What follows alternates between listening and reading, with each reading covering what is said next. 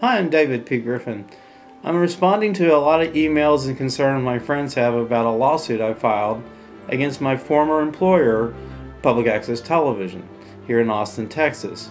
Well, this video is how you do a lawsuit against your former employer. It's really quite simple.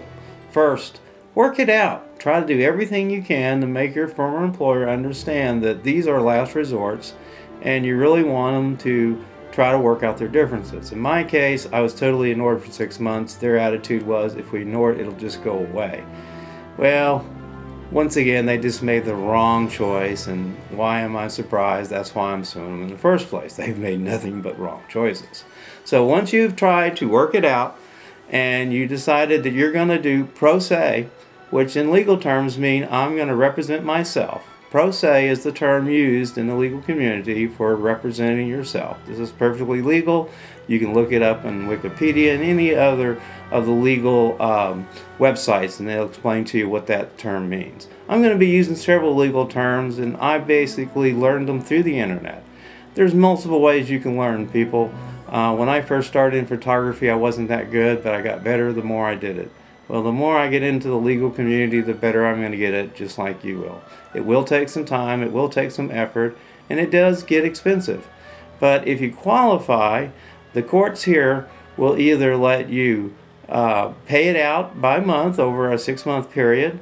You also can get it um, waived if you meet the right criteria. Uh, in my case, being un- unemployment and everything else, uh, I qualified. The, I am not paying any filing fees. But if you did, a filing fee here in Travis County is $230, another $140 to have service, which means a constable or a law officer will take the lawsuit to your former employer and serve it. Um, serving is part of the process and you have to pay for that. And believe me, you have to pay for everything. Nothing's really free in this world. But if you qualified and they will waive the charges, that's great. Um, First thing you have to do is draw up a complaint. A complaint is basically a document that looks just like this. You've seen them a hundred times on court TV. You know, you have to put your case, and cause number here, who you're suing, the county and the court, and then all this legal jargon. Well, all that legal jargon that we're here to talk about today. There's many ways to do research on the internet, and there's many ways to find the information you need. Uh, personally, Look through the newspaper and through the internet for other lawsuits that have been filed in your area that are similar to yours and the same people and the same laws apply. That's a good way to get started. Once you know the lawyers' names or the parties involved, then you go down to the local courthouse and you pull up the actual lawsuit like I have. You can actually go down and find a lawsuit filed against someone for doing the same thing that's done with you against you that's already there, already existing. It'll already have the pertinent information that you're looking for.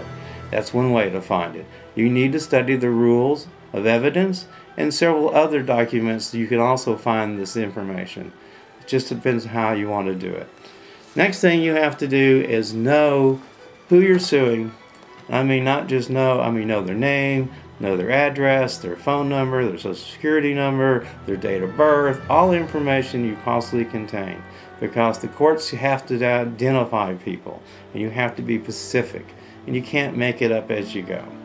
Uh, once again, if you go online and there are certain uh, companies that'll do uh, searches for you, um, Google is one. Um, there's Dun and Bradstreet. They've got a lot of good information. Now you're going to have to pay for this, and that's just part of the business. Doing legal work, even doing it yourself, is expensive, and that's just part of the life. So once you've done your research, and you have to have a word processing program that anybody can make this pattern. This pattern, this format is the legal pattern. You have to have it in these terms, and you know, no big deal. You can download it if you've ever typed. You shouldn't have any problem. So once you know the name of the people, and you know exactly the information that's required for their name, address, then you have to have the parties, and that is the parties. That's the name and the address. The next thing you need to do is make sure you know your jurisdiction and your venue. These two items are very important. That means you have to know where this happened. You know, you have to be in Travis County, they have to be in Travis County. You know, that's the jurisdiction of the courts and of the county. And now, if one is in a different county or a different state, that makes it much more difficult because then venue is very important. Because if the party was injured somewhere else and you can't, you know, sue them at home, you have to go to where the injury occurred or wherever the damage or whatever happened. Uh, my personal case, I was here in Austin, Texas, the Public Access Center. Uh, I live here in Travis County. They live here in Travis County. Everything happens in Travis County. So the venue is definitely Travis County. There's no question there, and that's something you want to make sure of. Next part of any lawsuit is the facts. You have to know the facts. You have to be factual.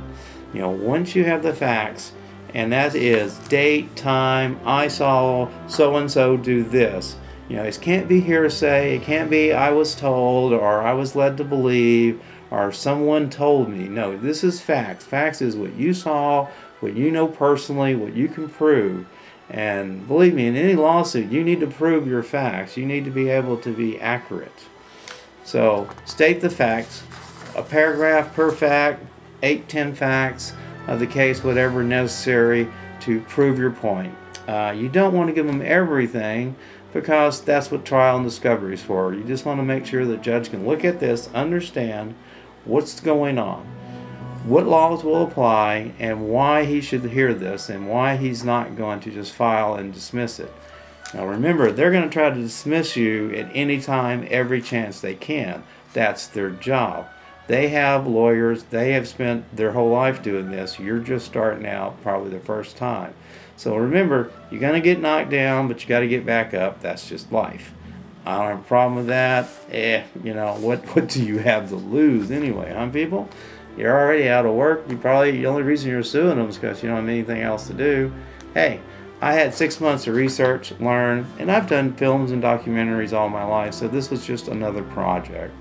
Hey, you know, it could be a new business for me. I'm not a litigator, but they make a lot of money, and I'll be honest with you, you know, before I started this, I contacted over 200 attorneys here in the Austin area by mail, by letter, by voice. It all boiled down to four or five attorneys who all wanted thousands of dollars just to shake their hand. And I'm sorry, I'm not going to pay thousands of dollars to interview someone I may or may not want to hire to work for me. That's just ridiculous and it's just not going to happen. Pro se is for me.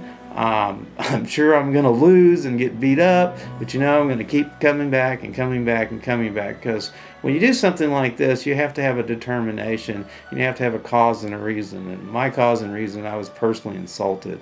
You know, anybody can get fired. In, in the state of Texas, you can be fired for anything, and that's fine. But the fact is, you know, when you you kick the old dog when he's leaving the door, he's liable to turn around and bite you in the ass. And that's exactly what's going on. I was personally insulted.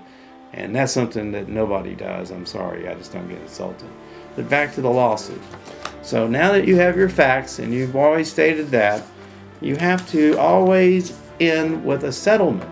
Because the part of a lawsuit, and the judge wants to hear, he wants to hear, like I said, where the venue is, what the uh, law is you're quoting, what the facts of the case are, and then what's the remedy, what is the outcome. And that's called the prayer. You want to pray for damages, and you want all the money you can. It's hard to state damages sometimes, and if you have physical damages and costs, then yes, state them. But your uh, demand for damages and your prayer. The prayer basically states, in most legal terms, that you want as much money as possible for all the damages allowed by the court uh, and that's what you want to do. They will set a figure. Now, the bottom line is 99% of the time you're going to settle out of court and you won't have to go through this, but there's a good chance you will. So, we're going to discuss the next phase. Now, we just talked about filing a petition, going to court, and what it will cost and take. Uh, there's more details on the website, and I'll be happy to sit down with anybody and discuss this personally if that opportunity occurs. The next uh, part of the um, process, because this is a very long and expensive process, is going to be called discovery. Because what's going to happen is you're going to file your petition. The court's then going to send it to them, and they have to, quote, answer. And the answer can simply be, we deny everything and prove it. Uh, they can take every um, chapter or every uh, paragraph apart and try to dismiss it. Uh, believe me, they're going to try to dismiss it every chance and every opportunity. That's just the way the game is. And you have to learn that you can stand up and say, no, that's not right, no, that's not accurate, but you have to know that's not accurate to say that. So that's why it's so important to read the rules and understand.